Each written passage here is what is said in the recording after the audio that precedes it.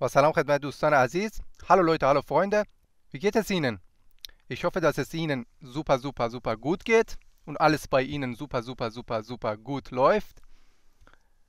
آغاز می‌کنیم wir beginnen mit Lektion 114 درس 114 از سری درس های آلمانی به فارسی dot com در سایت آلمانی به فارسی dot com این ویدیوها از درس یک تا درس 104 تا این درس و درس های دیگه هم برای شما لیست شده و می‌تونید مراجعه کنید و استفاده ببرید و به دوستانتون هم می‌تونید معرفی کنید. کسانی که علاقه دارن به یادگیری زبان فعلا ما زبان آلمانی رو داریم تدریس می‌کنیم. فعل امر یا ایمپراتیو رو کار می‌کردیم. و من بهتون گفتم که فقط در دوم شخص که مثلا فرمال باشه گنزی مثلا. برید. گنزی. گنزی.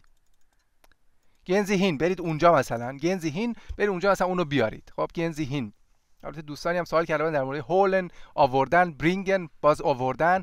اینا فرقشون چی هست؟ اینا رو من بهتون میگم یواش یواش. و نگران این چیزا نباشید. خب. گنزی هین کومنزی هر برید اونجا بیاید اینجا. هر بچه و هین معنی جهت میدن. خب مثلا وقتی من میگم گنزی هین یعنی یه جهتی هست برید برید به اون جهت اونجا. حالا اونجا ما فارسی میگیم اونجا چون اینجا هین دیگه معنی می‌تونید مثلا به جای هین بگید گنزی داهین خب برید اونجا. اونجا هین هم گذاشتید یه جهت هم بهش دادید. گنزی داهین می‌تونیم داهش هم ورد دارید که هینو که بگیم دیگه یعنی داریم دایه جهت رو میدیم به یه سمتی حالا هر جا. فرق نمی‌کنه دیگه کجا باشه. برید. خب گنزی هین. برید مثلا فلان جا یه چیزی رو بیارید یا برید مثلا خونه فلانی یه چیزی رو گنزی هین خب؟ فاقن زهین با فاقن اگه بگیم یعنی رانندگی کنید به اونجا. یعنی برید به اونجا. فارسی میگیم همش میگیم برید برید برید. هواپیما باشه برید. ماشین باشه برید. دوچرخه باشه برید. اسب باشه برید. ها؟ توی آلمانی و انگلیسی و زبانهای دیگه معمولا دیگه مثلا گن اگه با پا باشه میرید. البته کلی هم می‌تونید گن بگید. فاقن باشه مثلا می‌تونید با ماشین باشه یا با دوچرخه باشه یا موتور. به حال. گن زیهین کومن زی هر. کومن زی هر. بیاید اینجا. هر هم معنی چی میده؟ معنی باز جهت میده. جهت که به سمت شخص شنونده شخص مبدع نزدیک میشه طرف. مثلا کم کم کومن زی هر یعنی بیاید به سمت من. کم؟ می‌تونید بگید کومن زی سومیه. سومیه. کم سومیه. سومیه یعنی به سمت من. حالا سومیه معنی خونه هم میده. خب؟ کومنزی سومیه. مثلا بیاد پیش من خونم. پیشم. کومنزی سومیه جهت مثلا بیا از اونجا بیا پیش من. اینجوری هم می‌تونیم بگیم. کومنزی هر. بهترین حالتش اینه. کومنزی هر. بیاد اینجا. کومنزی هیه هر. به جای اینجا می‌تونستیم بگیم داهین. اینجا اینجا می‌تونیم بگیم هر. یعنی دیگه تو اینجای فارسی هم توی این حالت وجود داره اینجا. می‌تونید هیه هر. هیه هر. هیه رو می‌تونید نگید دیگه.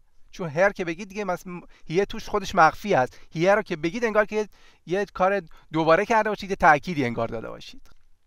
بنابراین هر به سمت مبدا نزدیک میشه هین دور میشه از یه جا. حالا مثلا می‌خوایم به دوستتون بگید. برو برو اونجا برو اونجا. گهن اینش هست میشه. گن اینش هست میشه میشه گهی گهین. گهین. برو اونجا مثلا یه چیزی بخر بیار. اینجوری. کمن میشه کم هر. بیا اینجا. کم هر. بیا اینجا. حالا چند تا از دوستاتون از به چند تا از دوستاتون برید اونجا میشه چی؟ گت هین برید اونجا. بیاد اینجا میشه چی؟ کمت هر خب دیگه در واقع بخوایم دقیق بگیم ایه یعنی شما. گت شماها شما چند تا از دوستان من؟ گت میرید. ایه کمت. ایه کمت. شما میاید خب شما ها میایید. چند تا از دوستان؟ و دیگه این ایه رو بچه دیگه نیاز نداریم بیاید اینجا تو فعل امر دوباره تکرار کنیم.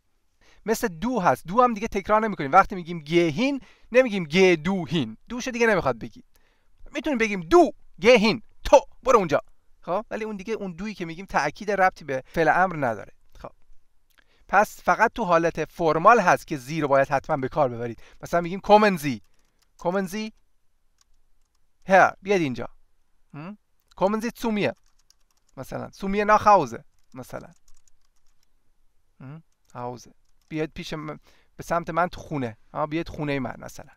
کومزی سومیه هاوزه یا کومزی سومیه einfach وقتی بگید سومیه معنی هم بیا طرف من میده ممکنه باشه در اون مفهوم می‌تونید بفهمید. تو مفهوم توی متن مشخص میشه که در مورد چی حرف می‌زنید. مثلا در مورد مهمونی حرف می‌زنیم کم سومیه مثلا. مورگن دوکانس مورگن سومیه کم. می‌تونی فردا بیا پیش من. خب حالا. بلایبن یعنی چی بچه ها؟ خب باز اینجا با تلفظشون ما تو فارسی هوا میندازیم بین کلمات بین کنزونانت ها بین کلماتی که به حروفی که صدا ندارن. مثلا ب صدا نداره خب؟ ل صدا نداره. تو فارسی میگیم ل. یه ای هم میندازیم که صداشو بتونیم درست تلفظ کنیم. ولی اینجا مثلا دیگه ب و ل بینش ممکنه فارسی زبونا بینش ای بذارن. ای ذره هوا می من بهش میگم به اینا میگم هوا. خب هوا ندید بینش. بلایبن بلایبن بلایبن. ب و ل سری به هم میچسبن. دیگه هوا بینشون نمیدیم. خب بلایبن تلفظ. ممکنه حالا بعضی مواقع بگیم بلایبن وقتی سری صحبت می‌کنیم نفهمیم. اینا دیگه ملا نقطه بازی در آوردنه. بعضی از دوستان ممکنه به این چیزا خیلی گیر بدن. نه نه نه تو گفتی بلایبن غلطه. وقتی که شما صحبت می‌کنید اگر تمرکزتون بخواد بره رو این جزئیات کوچولو اون زنجیره کلام از دستتون گسسته میشه. توی ذهنتون به هزار تا چیز دارید فکر می‌کنید. این عادی نمیشه زبان صحبت کردتون هیچ و... هیچگاه. اگر بخواید تمام وقت به این تمرکز داشته باشید که آ اشتباه نکنم اشتباه نکنم. این تلفظم خب تلفظته. تلفظ زبان مادری شما یه آوای خاص داره. اون آوا رو تو زبان بیگانه هم به هر حال همراش هست. هیچ کس نمی‌تونه بگه من صد درصد مثل مثلا فلانی که تو آلمان هست صحبت می‌کنم. می‌تونید نزدیک کنید. ولی هیچگاه هیچگاه نمی‌تونید. دقیق دقیق دقیق مثل اونا بشید. اینو فقط تو تو ذهنتون بسپارید. مثل اینکه مثلا شما به یه لحجه خاص توی فارسی صحبت می‌کنید اون لحجه به هر حال اون آوا همیشه وجود داره همیشه انگار وجود داره. یه نفر می‌تونه تشخیص بده آها شما از چه ناحیه‌ای هستید تو آلمان هم همینه مثلا یه نفر یه جوری صحبت می‌کنه من می‌تونم بگم آها این از فلان جا میاد. خب اون دیگه نمی‌تونه هیچگاه صد درصد منظورم که هیچگاه منظورم این نیست که نمی‌تونه تا 90 درصد خوب کنه. می‌تونه. هیچگاه ولی نمی‌تونه. 100 درصد بگه من دیگه اون ز... اون آوا رو فراموش کردم و می‌خوام دیگه همیشه مثلا به آوای مثلا نمی‌دونم هامبورگی صحبت کنم. خب؟ همچی چیزی نیست. بنابراین این هیچ وقت به این کسایی هم که بخواد به شما گیر بدن به این موضوعات کوچولو سعی کنید ignorieren ignorieren یعنی چشم چشم پوشی کردن در واقع ignorieren یعنی بیخیالشون شید. خب؟ زیاد توجه نکنید. خب؟ ignorieren خب پس bleiben fertig حالا اگه گفتید bleiben فلان سری حرف زدید یه چیزی گفت اشکال نداره. دیگه به این چیزا فکر نباید کنید. وقتی حرف زدید تموم شد سخن که از دهان رفت بیرون دیگه فکر بهش نکنید. فرض سعی سعیتون رو بذارید به سخنهای بعدی حرفای بعدی که می‌خواید جملات بعدی که اینجوری رو به جلو فکر کنید نه به رو, رو به عقب. رو به عقب هیچ موقع تو صحبت کردن فکر نکنید. اینا اینا نکاتی هستن که تو هیچ کتابی نمی‌بینید شما. تو هر کتابی ببینید میگن به شما جدول گذاشتن میگن ایک دو اینا همه تو همه رو بهتون میگن ولی اینو نمیگن بهتون که به چی تمرکز کنید؟ رو چه کار نکنید؟ این تیپ ها رو که من به شما میدم با توجه به تجربه نه فقط تجربه خودم و تجربه دوستان دیگه هم هست. از خیلی از دوستان هی می‌پرسم کسایی که مثلا زبانشون می‌بینم خیلی خوبه خیلی خوب صحبت می‌کنن و با اینکه مثلا یک دو سال هست آلمان هستن ولی خیلی خوب صحبت می‌کنن من میرم همیشه ازشون می‌پرسم میگم شما چیکار می‌کنید؟ چرا شما مثلا اون یه نفر که سه سال چهار سال آلمانه به خوبی شما نمی‌تونه صحبت کنه؟ و این نکات رو من می‌نویسم یادداشت می‌کنم و سعی می‌کنم تو این درس ها یواش یواش به شما ارائه بدم که فرض فکر نکنید صحبت کردن فقط اینه که من همه چیز رو یاد بگیرم. همه چیز رو باید یاد بگیرم و بعد صحبت کنم. یا همه چیز رو باید بدونم و اگه یه چیزی رو ندونستم یه کلمه دو کلمه رو ندونستم دیگه تمومه نباید دیگه صحبت کنم. بعضی از دوستان هستن که اینجوری فکر می‌کنن. اینجوری نیست دوستان.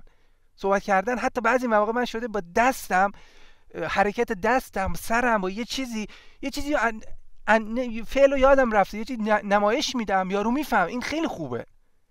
شما نمی‌تونید بگید من باید حتما پرفکت باشم. هرچی تمرکزتون رو روی چیز خاص اشتباه نکردن مثلا ببرید.